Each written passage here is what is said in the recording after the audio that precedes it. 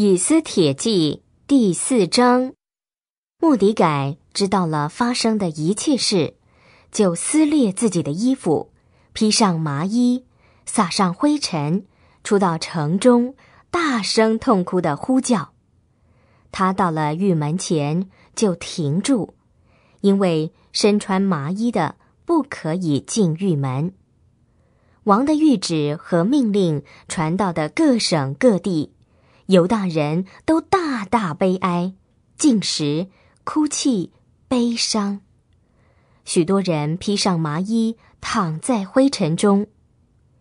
以斯帖的婢女和太监把这事告诉以斯帖，王后就非常惊慌，就派人送衣服给莫迪改穿着，要他脱下麻衣，他却不接受。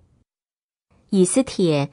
就把王派来侍候他的一个太监哈他格召了来，吩咐他到莫迪改那里去探听这是什么一回事，又是为了什么缘故。于是哈他格出到狱门前的广场去见莫迪改，莫迪改把他遭遇的一切事，以及哈曼为灭尽犹大人答应捐银给王库的数目。都告诉了他。莫迪改又把在书山城颁布要毁灭犹大人的谕旨抄本交给了哈他格，要他给以斯帖看，并且要给他说明，吩咐他进宫见王，向王求情，为自己的族人在王面前恳求。哈他格回来，把莫迪改的话都告诉了以斯帖。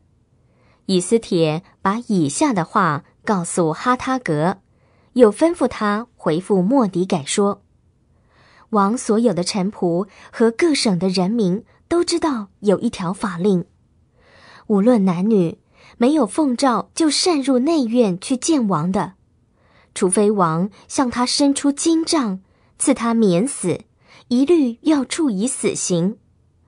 现在我没有奉诏。”进去见王已经三十天了。哈他格把以斯帖的话都告诉莫迪改。莫迪改叫人回复以斯帖说：“你不要心里想，你在王宫里比所有的犹大人都安全。这时你若是缄默不言，犹大人必会从别的地方得着解救。那时。”你和你的父家就必灭亡。谁知你得了王后的位分，不是为了挽救现今的危机吗？以斯帖吩咐人回复莫迪改说：“你要去，把书山城所有的犹大人都召集起来，为我禁食三天，就是三日三夜不吃不喝。我和我的婢女也要这样进食。”然后我就违例进去见王，我若是死，就死吧。于是莫迪改离开了，照着以斯帖吩咐的一切去行。